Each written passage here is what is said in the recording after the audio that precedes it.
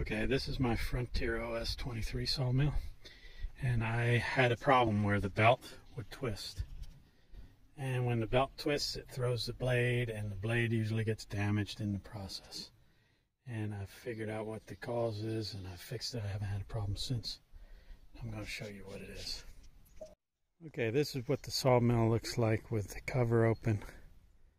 Um, as you can see, you've got two big pulleys and you got a drive pulley in the middle that that uh, the motor is connected to that drives the, the belt. And you've got a take up idler pulley which is for tensioning the belt just to the right of the drive pulley. Now the big large pulley on the right, this pulley here, that's this is the pulley that's driven by the the motor. So this pulley here is critical that it's lined up. Okay, on the side of the, sawmill, there's a bolt here. And that bolt, by turning it one way or the other way,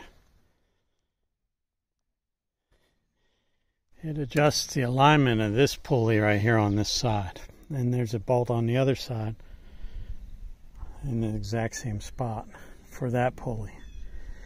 So when I'm changing my belt and my blade, what I what I do first is I make sure that this pulley here, the one that drives the belt, is lined up with the drive pulley. If it's not lined up, if this pulley here is not lined up with this drive pulley, you're going to twist your belt and you'll throw your blade. It'll it'll knock teeth off your blade. It'll damage your blade. So the first thing I do is I check. I use the back wall of my sawmill as a guide, and I measure from the back wall on the right side of the pulley. I got about two inches, and then I measure on the left side of the pulley and I've also got about two inches. Now, I can turn this this bolt right here, and what that will do is that will bring this side out and this side of the pulley in.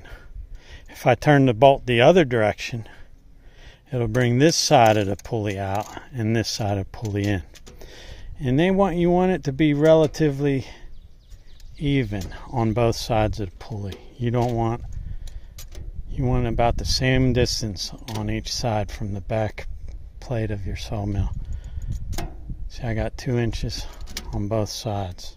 So it's I can tell that this is lined up with my motor drive pulley.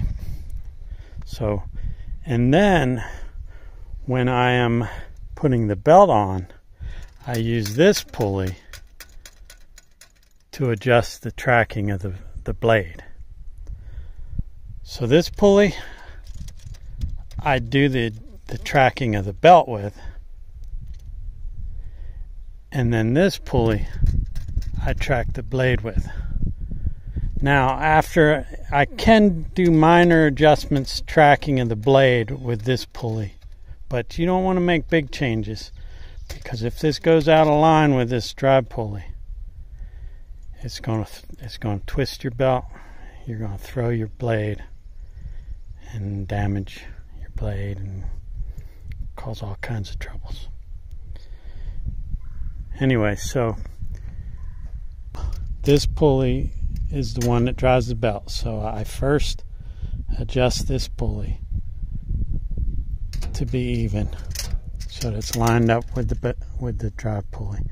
And then I use the other pulley to track the blade mainly. I can make minor adjustments on this to track the blade.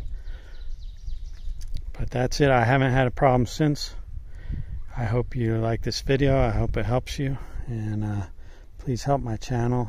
Like my videos. Comment. Um, subscribe to see more. I've got some pretty cool uh, timber frame building and uh, guitars that I build. Thanks for watching.